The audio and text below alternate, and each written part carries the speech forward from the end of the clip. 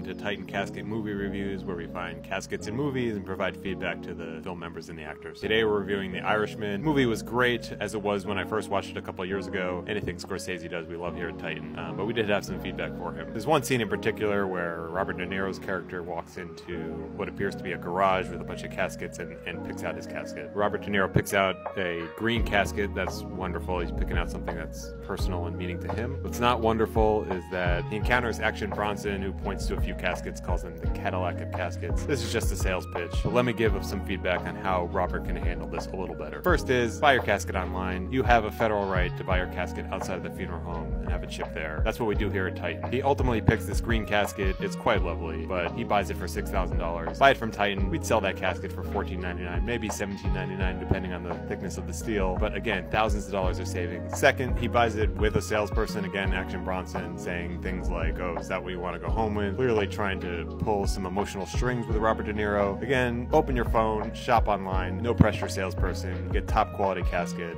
at a reasonable price. So overall, great movie. Three out of four stars. Would have given it a little higher. That scene was different.